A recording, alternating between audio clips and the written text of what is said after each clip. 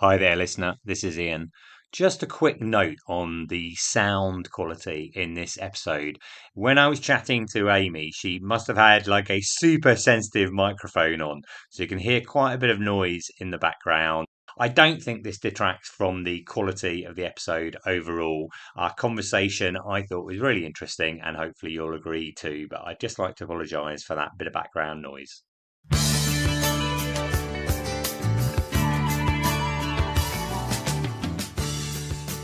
Hi there, listener, and welcome to episode 203 of the Ski Podcast. Thanks for joining us. This is going to be a Scotland special for this episode. We're going to look at resort and backcountry options in Scotland, some of the events that are on this season, as well as how to travel there by train.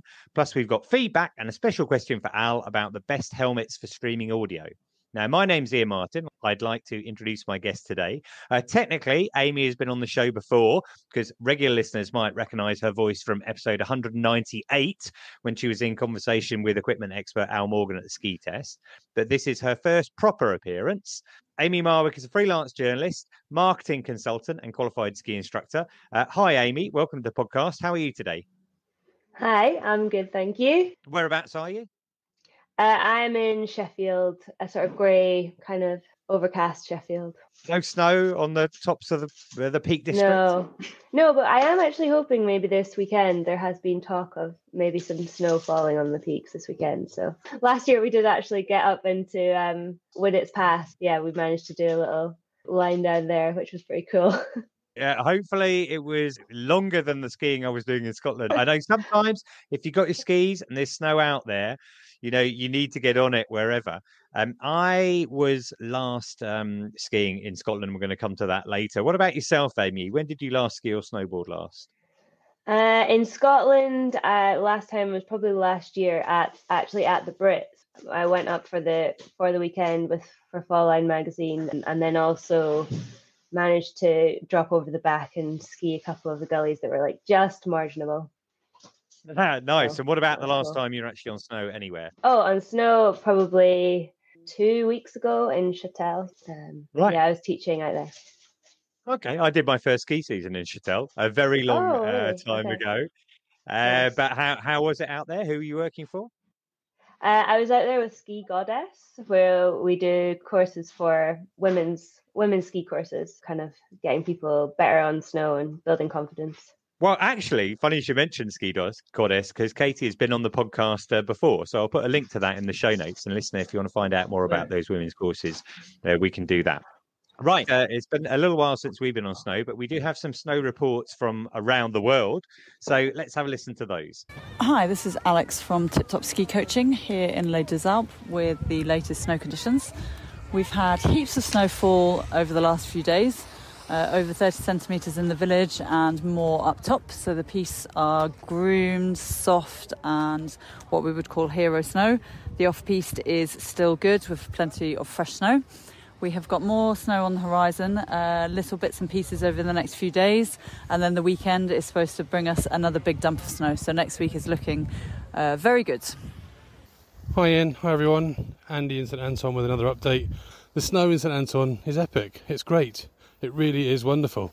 So many reports of so many places that are still green, and pretty much anywhere under a thousand meters, um, certainly in Austria, in the very east of Austria, is quite green. Um, most resorts under a thousand meters, the golf courses are getting ready to open, and people are uh, sort of regripping the golf club rather than resharpening the skis.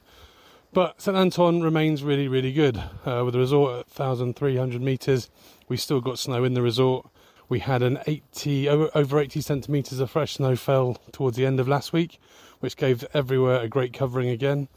And we had an unexpected 20 to 25 centimetre fresh flurry of snow fall in the last 48 hours. Um, I skied yesterday, can definitely confirm that from top to bottom, so from 2,850 metres right down to the village at 1,300 metres, the snow is lovely. The pistes are in great condition. Even the off piste just off the sides was still fresh. It really was lovely skiing. Quite a low cloud base yesterday, but above the above the cloud, everything was sunny, beautiful, gorgeous, and looking really good and pretty. Um, certainly, all the webcams they showed the very best of St Anton and the Arlberg. Um, with lovely snow cover all the way through to Lech and Warth and Schröcken as well. So snow conditions still really good. It's still quite cold, which is nice. Um, I'm just walking as I'm giving this report, and my hands are actually feeling a little bit numb. So uh, that's good enough reason for me to keep this one quite short and concise. Yeah, in summary, um, good snowpack, good snow cover. I think it's fast approaching four metres at the top, um, at the very top of, the, uh, of Valluga, which is quite unprecedented to have four metres of snowfall throughout, throughout the whole season. Um, really is lovely. Come and visit. Easter's just around the corner, um, and it's definitely some of the best skiing uh, to be had is, is, is Easter skiing. Sun, snow, sun terraces. It really is beautiful. Thanks, everyone. Bye. Hi, Iain. Alex from 150 Days of Winter with a Hail Mary snow report from the Three Valleys. You know our motto when everyone else lets you down, you can always rely on 150 Days of Winter. Like and subscribe. Now, if you were here for the first two weeks of half term, you would have been greeted by what horse racers might call good to firm conditions. However, after all the Parisians left, so the new snow arrived. We even got an extra day of snow in February. You've got to love those Jesuit priests and their calendar. With almost fortnightly deliveries from Mother Nature, resulting in some of the best piste conditions all season. Looking at the forecast, we have over 20 centimetres to come on Sunday. So all in all, it's looking very good for March and the remainder of the season. And on that, before I go and roll around in all the fresh snow that's just fallen this morning, I wish you all a good March. Ciao. Thank you for sending in those reports. Always really interesting to hear what conditions are like around the world. And with time on snow in mind, I'd like to thank Intersport for sponsoring the show. And if you want to support the Ski Podcast and save yourself some money at the same time, then just use the code Ski Podcast at intersportrent.com or take the link in the show notes and it'll automatically be done for you.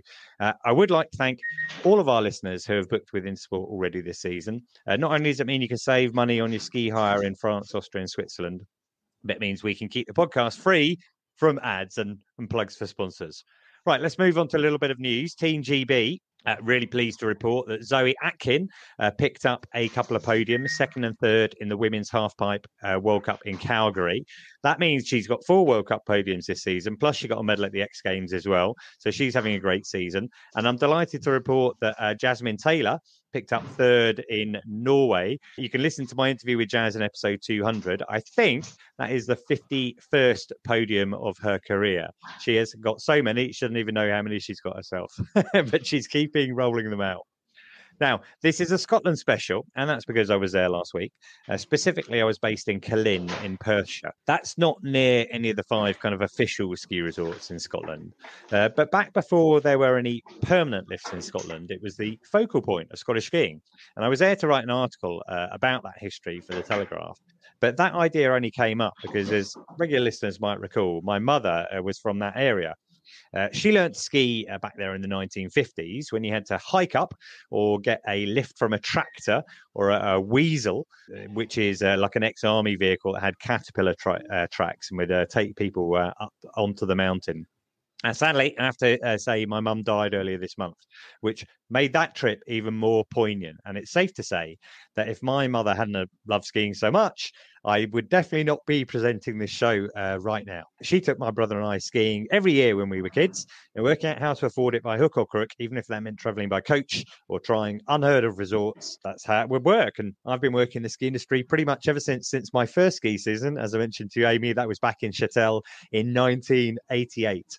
Uh, so yeah, I was writing an article, but this trip, which I took with my brother, was a tribute to her. Uh, now, I hope I'm not oversharing there, but it's important to understand my family link to Killin and Ben Lawers before we go on to discuss it. So uh, back to Killin. Killin is a, a, village at the end of Loch Tay in, in Perthshire, and Ben Lawers is the kind of main mountain. It's the 10th highest Munro in Scotland, about uh, 10 to 15 minute drive uh, from there, or the closest you can get to it. I found out a lot about the history. It was first developed in the 1930s. The Scottish Ski Club built their first ever hut there in 1932.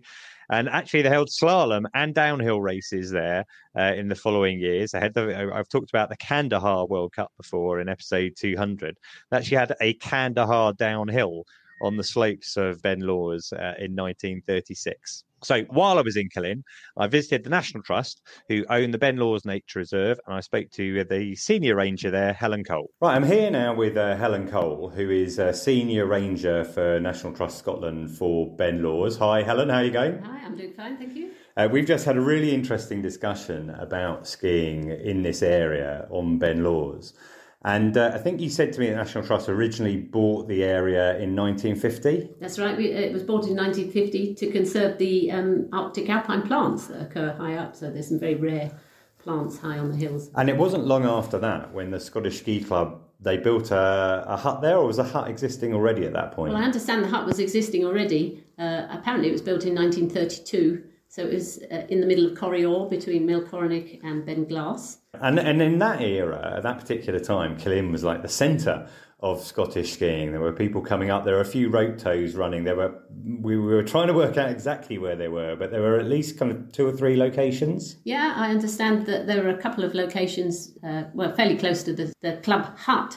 Uh, one above it, I think, and one just to the west. And so people were coming up and they go up the mountain, either you know hiking from the road, which would be about an hour or something like that, or if they were lucky, there was this thing called a weasel that would take them up. Yes, apparently there were vehicles that took them up to the tows, and there's uh, old footage of that apparently. I'm trying to get the permission to use that, but yeah, it looks brilliant.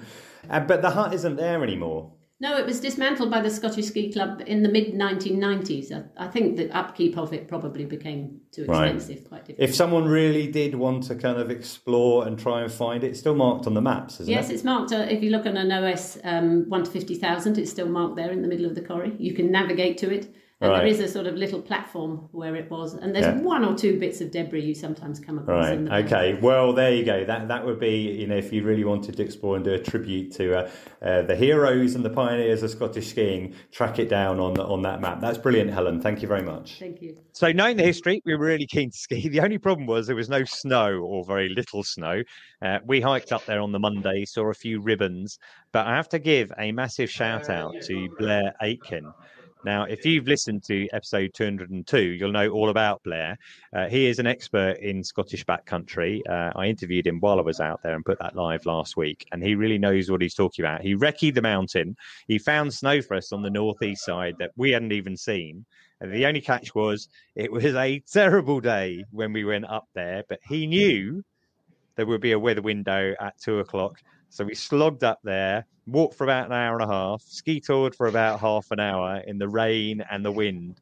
And then the clouds parted. and I'll stick a few uh, links to some of the photos. And, you know, four or 500 meter uh, descent. The snow was pretty good, more like spring snow, a bit soft. Amy, have you ever skied uh, on Ben Lawers? Yeah, I've been up there a couple of times, um, but both times I think I had a very similar experience to you. Do you recall which, which parts of the mountain you skied?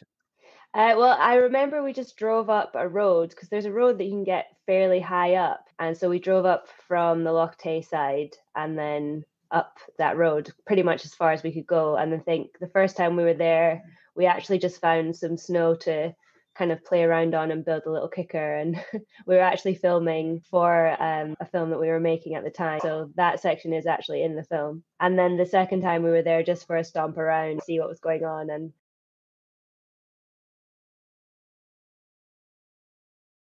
So the road that you're talking about there, that was actually one of the crucial reasons why Killin Ben Lawers became one of those first ski areas because there's a big hydroelectric plant. There's a dam further up, That's and they right, built yeah. that road as the access road. So it meant that instead of having to walk up from Loch Tay level, people were able to drive up. I think it's about 350 meters where they had that uh, original car park there, and so you're much closer to the snow and to the the hut. Have you? Do you know Blair? I've done a bit of work with Blair over the years in Scotland, taking groups out. I guess you'd probably uh, agree with me then. I mean, the guy knows exactly what he's talking about. He is the expert in that area, and it was such a pleasure to go out with him. He's so enthusiastic. Yeah, I mean, I guess this is one of the I, you might call it the problem, uh, you know, with uh, Scotland.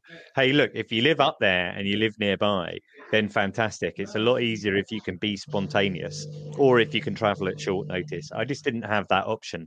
You know, as soon as we left, broadly speaking, it started to snow. And, you know, one or two days later, it was so much better, or would have been so much better than we, we were there. That doesn't mean I didn't enjoy it.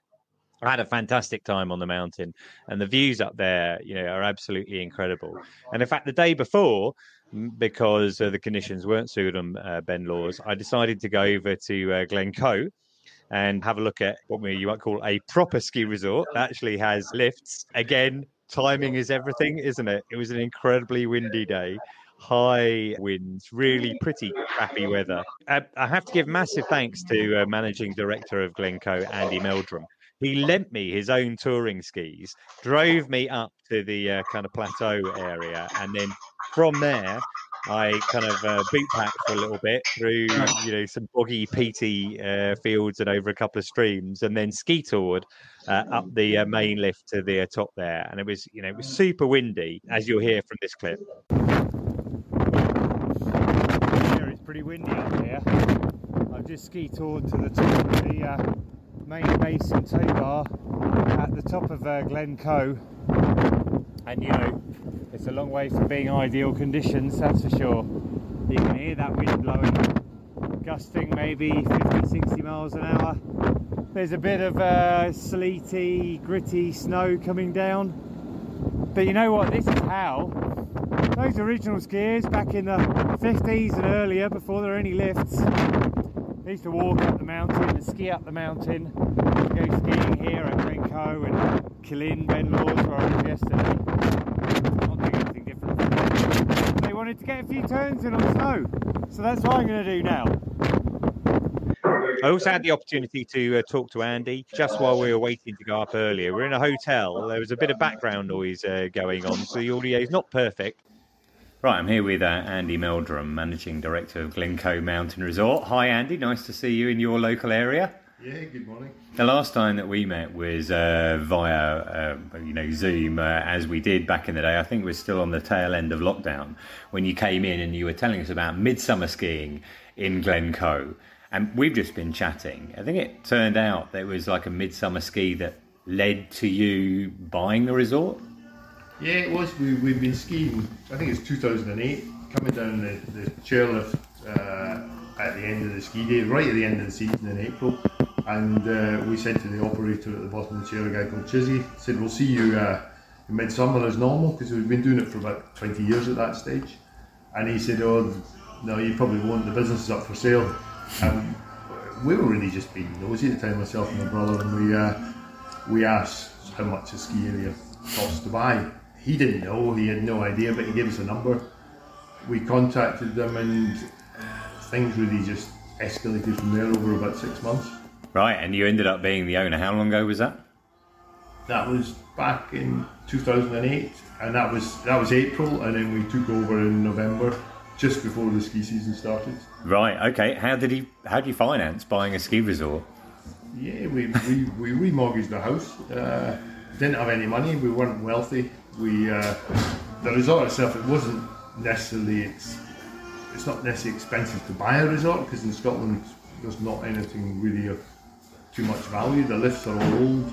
Uh, most of the most of the buildings were old. A lot of the infrastructure is quite old. So we didn't pay a huge amount of money, but uh, we took on the, the risk of a business that had been in trouble for quite a number of years beforehand, so we didn't really know what we were getting into. Well, and 16 years later, you're uh, you're still running it, so something must have worked out.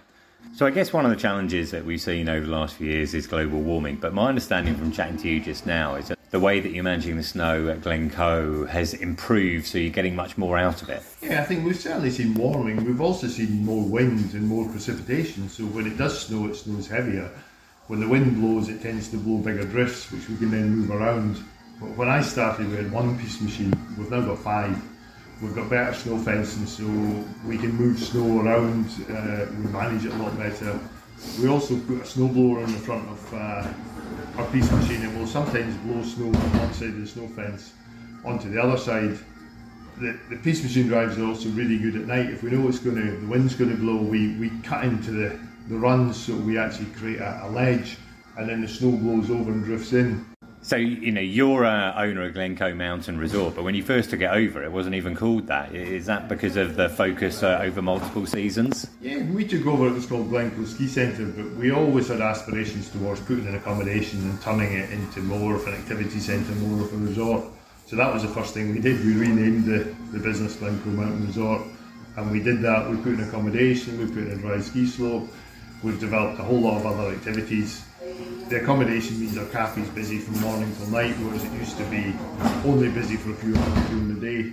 So we now generate quite a bit more revenue in the summer, but the purpose of that revenue in the summer is so we can invest in skiing because we ultimately, the people that operate it myself, we're all skiers. or snowboarders, and for us, it's all about the skiing. So when we make money, it's to invest back in. Last year, you opened a, a new chairlift on the mountain. But I think that uh, Glencoe was the first ski resort in Scotland to have what you might call a proper lift. Yeah, it was back in 1956. Philip Rankin built the first lift. It was right at the top of the hill. It went from 2,800 feet up to 3,700 feet. And people used to have to walk about an hour to get to the lift in the morning. And unfortunately, the lift operator used to have to walk all the way to the top because it was a top drive. So he used to have to walk about an hour and a half to start the lift. So the lift only used to run when he was ready so there was no set start time in the morning. Uh, so when people talk about earning your turns these days, when they're thinking about ski touring or something like that, they're not really considering you had to walk an hour up, you know, just in the first place, just to get to the lift. Yeah, but I think that was walking was quite a good thing because it meant by the time people started skiing, they were warmed up. no, but historically, that's followed through that Glencoe skiers tend to be a bit fitter and more active, less holidaymakers, and we do have tracked the stats for the Scottish ski areas, and we do have less injury. We still have less injuries because our, our, skiers tend to be. I, I love I love that theory. You know that uh, if you if you're skiing in Glencoe in general, you're uh, fitter and and hardier uh, anyway. That's brilliant. That the audio on that interview with Andy wasn't ideal. We were sitting in a hotel, uh, having a having a cup of tea, and it was perfectly quiet until we started to talk and then all the staff in the hotel started to come in and out and slam doors etc but you know hopefully you can hear what it says. Um, amy have you ever skied in glencoe? Yeah i've been up there quite a few times over the years for various kind of freeride competitions and we used to run a junior co cup there. We started that there quite a few years ago. And then yeah just for some skiing and taking a few clients up there now and again. Had a few days up there. What were the free ride competitions you were doing? So the Freedom Series is like the Scottish free ride kind of series of competitions, but I mean usually they don't all run because the weather generally tends to storm something off. Over the years, they've have managed to run quite a few of them, and they have they have done one on Ben Lawers as well, actually.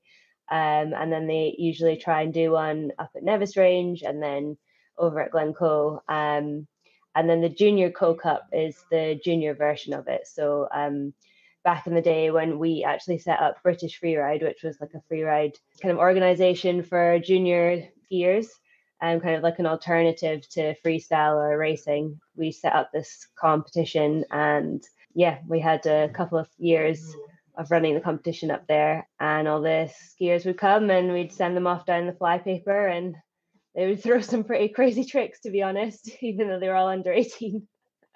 Right. I mean, I was going to ask you where it was. And so the flypaper, if you're looking, let's say, uh, at the mountain from below, it's over on the left hand side, skiers right coming down. And that's that's pretty steep, right?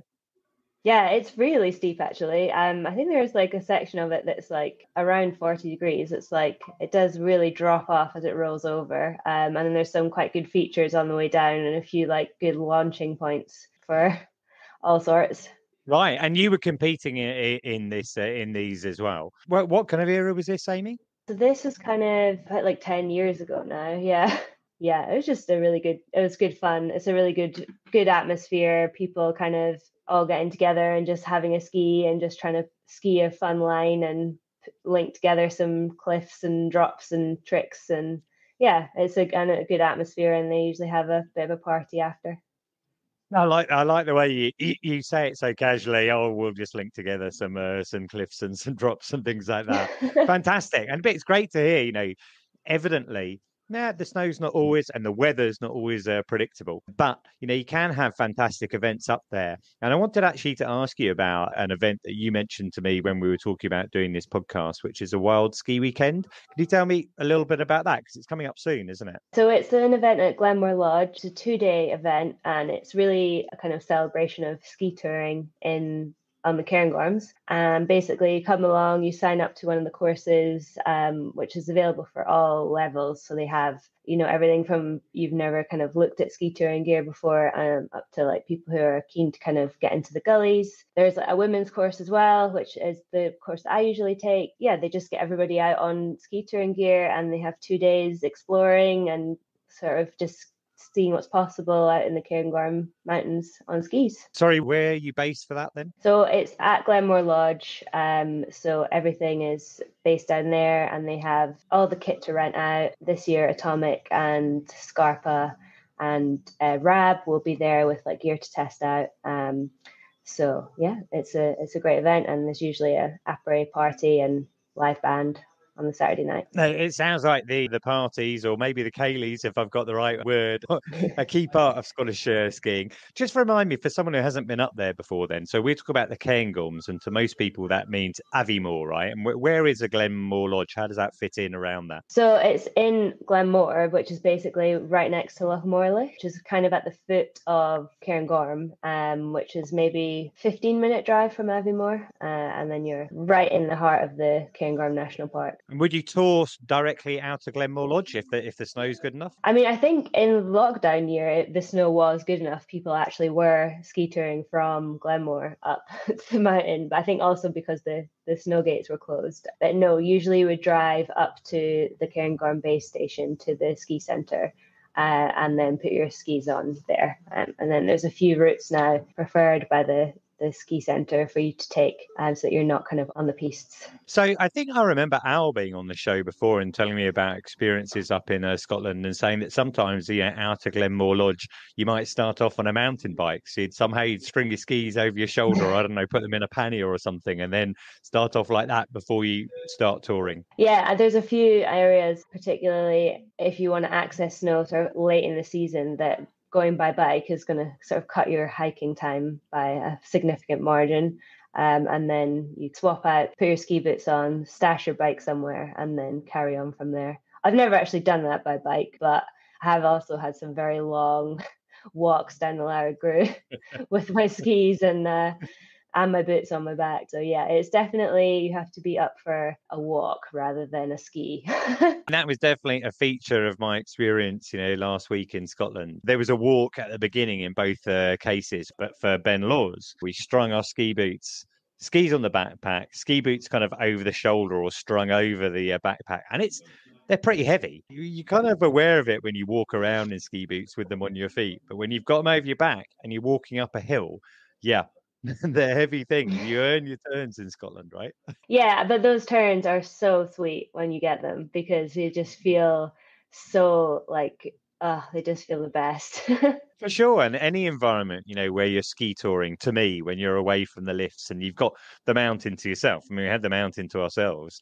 Uh, I had yeah. the mountain to myself in both cases because there was no one else around. Glencoe because the lifts were closed, and Ben Lawers because no one else would probably even know there was snow up there to enjoy it. And in Glencoe, it was a pretty rubbish day. But the clouds did part enough for me to look down over Rannoch Moor. And it's absolutely glorious, you know, that mm. view there. And the same thing up on Ben Lawers, looking back down over uh, Loch Tay, uh, as Blair predicted, you know, the clouds were going to clear. We were going to have this window.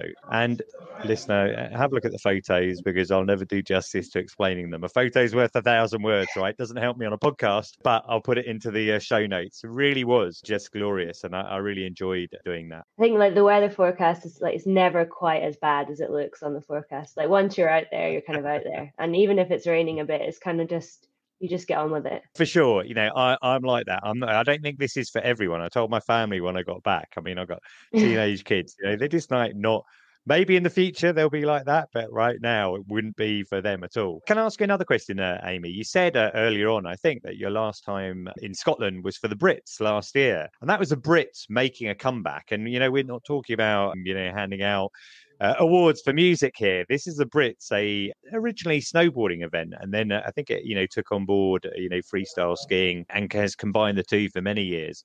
For a long time, it took place in Laax uh, in Switzerland. COVID stuffed things up, and it was so good to see the Brits back last year. You know, what was it like being there? Yeah, oh, it was an amazing vibe. And again, it was the weather kind of came in a little bit, but it actually just added to the atmosphere. It was a bit foggy and misty to start with, but everyone was just up there having a good time and you know all levels of skier we had some like golden oldies getting down there and winning prizes i mean when i say oldies i mean like myself like that kind of. I age. thought I thought you were having a go at Lesley McKenna there because she told us Oh, when she was on no. the podcast that yeah, she she, she managed she to win the Brits. I think twenty years after she'd first won it, or maybe twenty five years after she first won it. I can't really remember now. yeah, it was a really fun vibe and just kind of everybody getting involved. And the the setup they had up there was actually really impressive. Like the kickers were huge and banked slalom was great as well. It was really fun to ski down and yeah, uh, Stu Brass and Spencer Claridge, who've been organising this event for years, they know how to do it, don't they? You know, they've got so Yeah. much experience of this. They know how to uh, put it on. I interviewed Kirsty Muir last year. Let me see, back in episode 174, and she made a surprise appearance as well. I think we talk about you know Olympic athlete uh, or current Olympic athlete turning up. Yeah, it was great to see actually. I think it was really encouraging for all the like younger riders who were there to see somebody coming and just still getting involved in the grassroots experience, which was great. And I think Paddy Graham was there as well. Um, and there was lots of people filming and you know there was a lot of activity around just making the event to something you know important for these kids to be at That's really uh, exciting to hear and really interesting. I didn't realise Paddy Graham was there. I've got an interview coming up. Here's a sneak preview, listener. Uh, we're going to have an uh, episode with Paddy Graham in due course. Was he taking part at the Brits? uh, he was definitely riding i'm not sure if he was actually competing but he was he was there he was maybe emceeing the the rail jam A listener, you'll find out more about him when we come to that uh, episode. But Paddy Graham is one of those uh, originals on the British freerider scene who came through under the tutelage of Pat Sharples, who is uh, now coach of the GB Snow Sports team, the Park and Pipe team, as many other people that I've uh, you know interviewed uh, in the podcast uh, over the years. What about um, the Mighty Co? That's an event coming up um, this weekend in Glencoe. Do you know much about that, Amy? Yeah, so the Mighty Co happened a couple of years ago now, and they had uh, a sort of ski test and festival up the mountain. But this year they've kind of just set it up as a one day event. It's going to be some activities on the snow, so there's courses that you can get involved in, some steep skiing, some backcountry clinic, and some safety, avalanche safety skills. And then in the evening they're doing a film night. Uh, in Fort William. the impression I'm getting here, we got the Mighty Co this weekend, uh, the Wild Ski weekend over in Aviemore um, in mid March, 16th and 17th. Do we know if the Brits is going to happen again this year? Yeah, so that's going to be in May, but it's actually going to be down in Tamworth Snowdome. Okay. Yeah. I mean, I guess there's more reliability. The features are not quite as uh, good, um, perhaps, but um, it's great that it's going to go ahead again. Yeah, and I think maybe easier to access for people down south. It's a, a long way up to Cairngorm, so they might get a more English crowd this year. You referred to the fact it is quite a long way away. And as it goes, um, you know, regular listeners know that I'm trying not to fly, or I've taken a pledge not to fly for this year for sure. So I went up to Scotland uh, on the Caledonian Sleeper. Which is a new experience for me. I've done a few sleeper trains uh, in Europe before. It's the first time I've done it in the UK. And, uh, you know, I've put a video out on the Skipedia YouTube channel. I'll put a link to it in the uh, show notes. But essentially, it's very straightforward. You know, we just turned up to Euston in the evening, hopped on the train. I was traveling with my brother. I would say that the compartments are pretty small. You can't get a big ski bag in there as well as two adults. There is a baggage uh, area in the carriage uh, down that you can go to. And, you know, they're just couchettes. They're bunk beds, uh, effectively. This is for uh, two in the classic twin, which is what I was in. I'd probably say if you're six foot tall or over six foot, it might not be the best, most comfortable night uh, for you. But for me, it was absolutely fine. And we turned up into uh, Edinburgh early on the Monday morning and just then went straight over to uh, to Killin from there. Blair actually mentioned the Caledonia Sleeper in our interview in episode 202, saying that quite a lot of his clients come up by train now directly to uh, Aviemore. So let's just have a listen to what he said. And just uh, you know, thinking about that climate side of things, another thing we were talking about earlier. I mean, you do a lot of your courses from the Cairngorms, and you mentioned to me that you're finding people, your clients, your customers. Coming up from uh, down south, but by the train, the Caledonia Sleeper, direct to the area. Yeah, yeah, that's been that's been fantastic this year to see so many people doing that. So taking the overnight train, arriving Saturday morning, straight up to the hill, you know, two days of courses with us, and then back down on the Sunday night. Pack a lot in. Yeah, pack a lot in for sure. The reason for them taking the train is it, I mean, there's a convenience aspect to it because you're covering a lot of ground while you're asleep. But is it also because people are thinking about their carbon footprint and trying to cut it down? I think it's a bit of both. It's certainly, I mean, everybody's different, aren't they? Um, we've had people that have just done it because it's a very easy day to get to, uh, easy way to get two days adventure and yeah. not miss any work. And we've had other people who've said they just don't, they don't fly anymore, they don't drive anymore, so they can get a train up and a bus up and be at the hill. Going from London, for example, it's it does seem hard to justify when you're almost as close to the Alps as you are to the Highlands. Figure that one out. Must be, pretty, must be not much in it time wise as well. But I think it's the simplicity of it that people like. While we're listening to uh, Blair just then talking about the train, uh, Amy mentioned to me there is another event going on in Cairngorm later this month. What's that one? It's the Up Battle. Um, so it's a snowboarding event. It's a like demo day, and then they have um, a splitboard race up the mountain. That sounds great. I love a, I love a, a race. I like ski touring races. I've never seen a splitboarding race before. Is it harder than ski touring, or is it essentially the same thing? Yeah, as far as I'm aware, it is definitely harder um, to master. It's a, a little bit less. You've got like less grip underneath you than you might do on ski touring skis because they're shorter and maybe not quite the right shape. Yeah, and they probably don't have lightweight versions either. They're all going to be pretty heavy, right? I think they are lighter than a sort of standard snowboard. I'll have to ask Ed Leigh or Chris Moran when they're next on the uh, show. That's great. I mean, it's really exciting to hear. Firstly, you know, listener, we talk about Scotland here. It's definitely not terrible conditions the whole time. The weather in Scotland is unpredictable. I think what Amy was saying earlier, you know, you, you need to go to Scotland with the right kind of uh, attitude in mind because the dividends when you get to the top and you come down uh, are going to be worth it. And I'll definitely be going back there again. You know, I get the opportunity to go to uh, Europe uh, quite a lot, but um, you know, I felt that real connection to Scotland. You know, not just through my I don't know, maybe through my family history. I don't sound very Scottish, but uh, my name is Scottish and I'm quarter Scottish. You know, I just felt a connection. I guess I just like being in uh, nature. And, uh, you know, I really felt it uh, up there.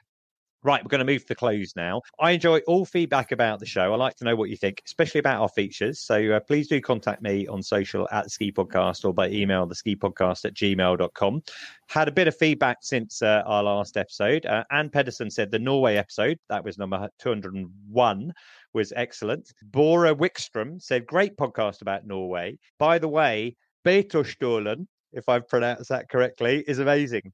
That's a ski resort in Norway. Uh, we had a week there in January. Super slopes, amazing for families, and they've been having an influx of happy British skiers this year. Robin also said enjoyed the Norwegian episode. He said Sunnmøre is definitely on the ski touring list after seeing some of the training films by Jacob Wester and Nikolai Schirmer. Mark Woods very kindly bought me a coffee he said, I've now listened to every past episode and I'm finally up to date. this is great content, Iain. Excellent contributions from interesting uh, guests. He mentions uh, Al in particular. Keep up the great work. And Grant Adam also very kindly bought me a coffee. Love the podcast. Discovered it late last year and I'm working my way through the episodes. Well, thanks, Mark, and thanks, Grant. And I uh, hope you enjoy all of our back catalogue. Now, regular listeners will have heard me talk about the carve before on the show. And if you don't know it, I'd suggest you start by listening to my interview with Jamie Grant, the founder, in episode 193. But Grant also had a question about the best way to listen to Carve audio with a helmet on, as did another listener, Matthew. And he said, uh, just wondering if you ever done a pod on helmet headphones. I'm going in on the Carve, so thinking about the audio element too. So uh, I went to our equipment expert, Al Morgan, and asked him what his thoughts were. Yeah, that's a good question. We've not done a pod specifically on these. I mean, I've tested the Aleck 006 system. I found that was really good if you've got an audio compatible helmet, so where the ear pads will accept these kind of inserts, then it's it's really seamless. They just slip in there. You can use them to talk to friends on the hill. But with regards carve, then you can listen to the announcement that the app's giving you as you're skiing, and it works really well to be honest, most of the time I've just used a single wireless earbud when testing Carve. That works fantastically well. It's the same earbuds I use daily, so I know they fit. And it means I can just pop it out and shove it in my pocket when I'm when I'm not using it. Um, the other advantage of using just one earbud is that I've still got really good hearing but what's happening around me, is something that I feel is really important when I'm on the hill, especially if you're in busier ski areas or on busier slopes. Uh, yeah, loads of options out there. Just pick one that works for you and make sure you can hear what's going on around you, really. Amy, do you have a, a view on uh, helmet headphones? No, I actually, I just never listen to music while I'm skiing. It's not something I've ever done. Not because I have an opposition to it in any way. I just never got around to it. Right. Okay. I wondered if it was like a safety thing because some people, uh, let's say, are uh, would say that you shouldn't listen to music because maybe you can't hear what's going on around you. Yeah, I suppose that's definitely would play into it. And I think, yeah, there's definitely a safety issue if you're in a sort of busy area. But um, I mean, don't see why it's a it wouldn't work if you're maybe ski touring or out out in the backcountry skiing around. Why not? Yeah, well, for me, when I'm ski touring, I'm normally listening to podcasts. So oh, maybe you listening, you're listening to this podcast now while you're, you're, ski touring. Anyway, if you haven't listened to our equipment uh, specials with Al, I highly recommend them. They're five episodes covering skis, boots, gloves, socks, jackets, goggles, and of course, helmets. And they're all available uh, in our back catalogue. Right. If you like the podcast, there are three things you can do to help. Uh, review us on Apple Podcasts or Spotify. Uh, that helps listeners find us. And I'd like to thank Grant for his recent review. Subscribe. It means every episode will be automatically downloaded for you so you can catch up at your leisure. Or you can book your ski hire with Intersport Rent using the code SKI Podcast or simply take the link in the show notes. Now, there are now 208 episodes to catch up with, and 166 were listened to in the last week. And that even includes some of our Olympic specials from Pyeongchang 2018, which I'm guessing possibly is uh, Mark who's going back and listening to every episode. They're a bit out of date now, but maybe get the atmosphere. Um, I'd like to thank all of our listeners. A ski podcast is always in the top 10 in the Apple podcast charts. That's in the wilderness category. Sadly, there's no winter sports category. So it's normally only cycling podcasts that appear above us. But there is so much to listen to in our back catalogue. Just go along to theskipodcast.com search around the tags and categories, and you're bound to find something of interest to you. Uh, I was just drilling down a little bit further into the stats. I saw that if you're interested, listener, 52% of us are in the UK, uh, 15% in the States, and the remaining third is spread across the rest of the world. Uh, and in the last seven days, we had listeners in Kazakhstan, Taiwan, Belize, and Morocco. Uh, so, listener, wherever you're listening to this podcast, thank you for giving us your time today. I genuinely appreciate it. You can follow me at Skipedia and the podcast at the Ski Podcast. But for now, I'd like to thank Intersport for supporting the show and thank all of my contributors today. That's Alex, Andy, Helen, Blair, Al, and Andy Meldrum. And of course, my very special guest today, Amy Marwick. Thank you, Amy. Well, thank you so much for having me. It's a pleasure. And finally, listener, thank you for joining us. And until next time, goodbye.